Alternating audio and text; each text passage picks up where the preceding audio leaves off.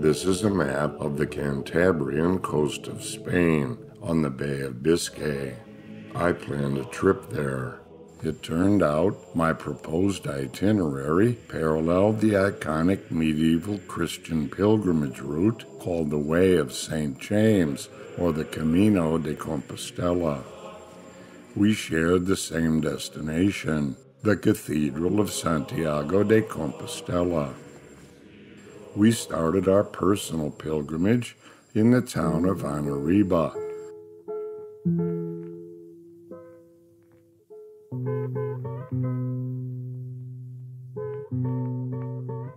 Our hotel, the San Nicolas. We headed west through Basque Country.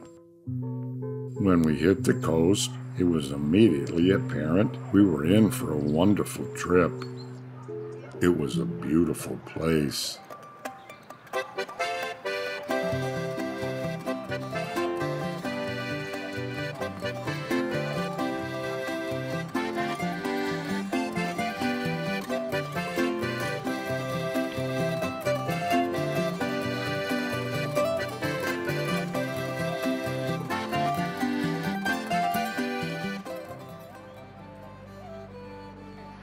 We hit the tapas bars, Spain's singular contribution to the world of snack food.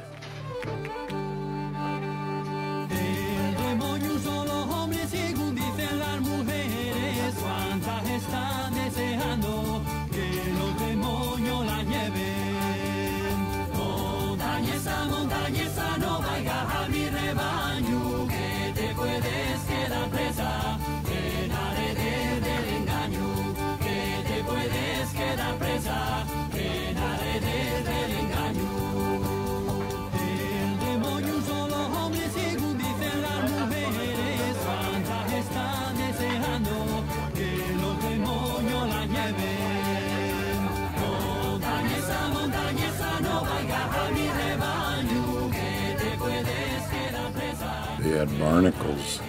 If you ever get the chance to try them, I recommend you do so. Old Sidra Dura, hard cider. A visit to Bilbao and the Guggenheim Museum.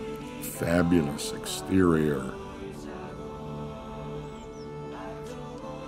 On to Altamira, home to the famous ancient cave paintings.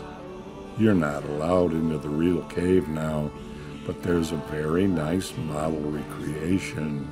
The fantastical paintings were created with charcoal and ochre.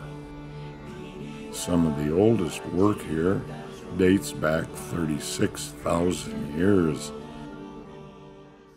A stop at Gaudi's famous El Capricho, built in 1883.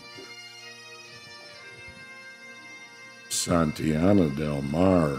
It's a beautifully preserved town that was an important stop on the pilgrimage during medieval times. The Jewel of Cantabria. It's nicknamed the Town of Three Lies. Neither a saint, Santo, nor flat, Llana, nor is it by the sea, or Mar. Santillana del Mar.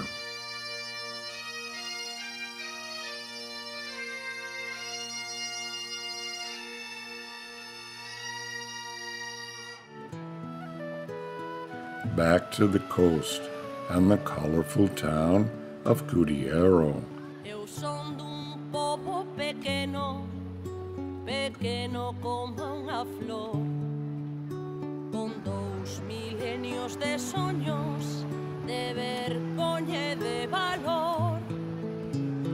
Son povo sinxelo, como a palabra irmán.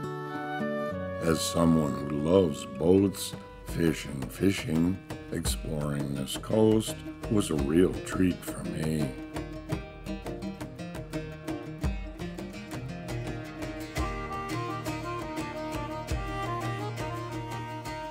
There was great seafood all along the way.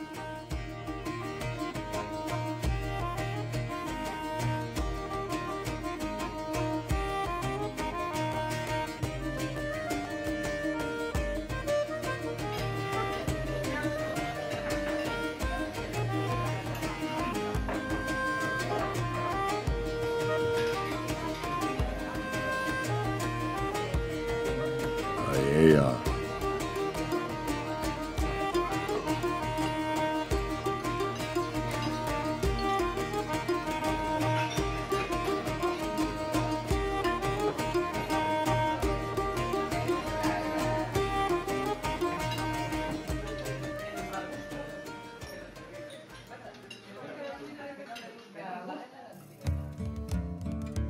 scallop shell holds great significance here.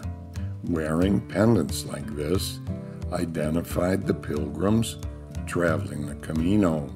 The lines on the shells represent a metaphor for the many walking routes, all leading to a single point, the tomb of St. James in Compostela.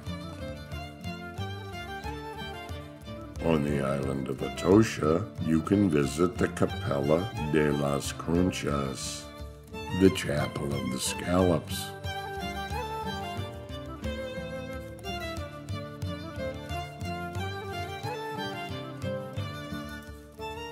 These are granaries called hórreos.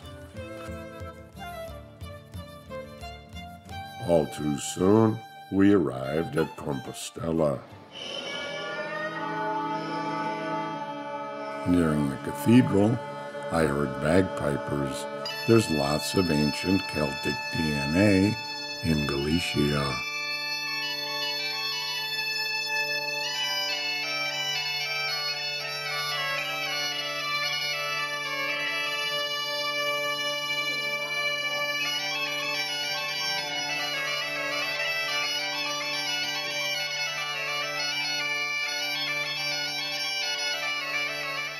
An Irish jig.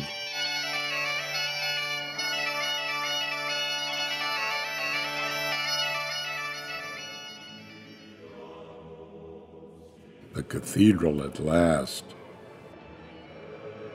Since St. James was an apostle of Jesus and was martyred in Palestine in 44 AD, it's fair to ponder why his remains are here in northwestern Spain.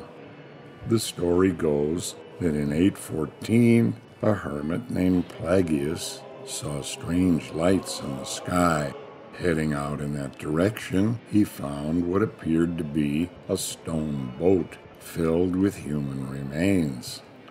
He summoned Bishop Theodomirius of Iria Flavia, and upon investigation, it was supernaturally revealed that the bones were those of St. James. So they built their church right there.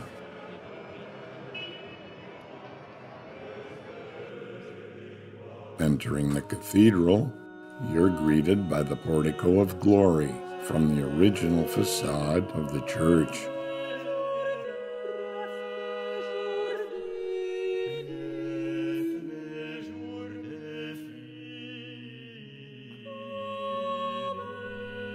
The cathedral has a spectacular altarpiece.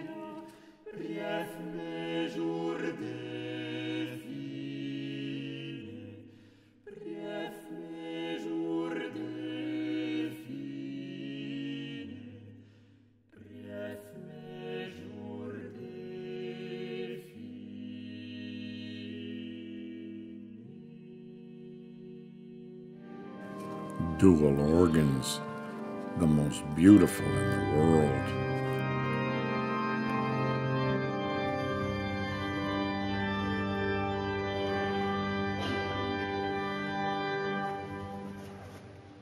Orad, hermanos, para que este sacrificio mío y vuestro sea agradable a Dios Padre Todopoderoso. As it happened, our visit coincided with a very special High Mass.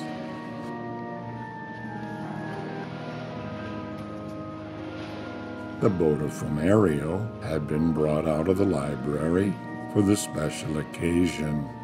It's an incense censer, and at 80 kilos and 5 feet in height, the world's largest.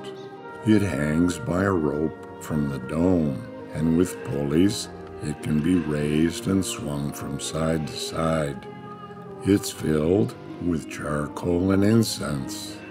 When ignited, The smoke rises upward to the top of the dome, and as it does, your prayers may be carried upward to the heart of God. The congregant's sins might be absolved. Its incense depleted, the Botafumerio slowly swung to a stop. We all headed out into the cool evening air. I felt happy, thankful to be freed from the burden of my sins. It was a beautiful sunset.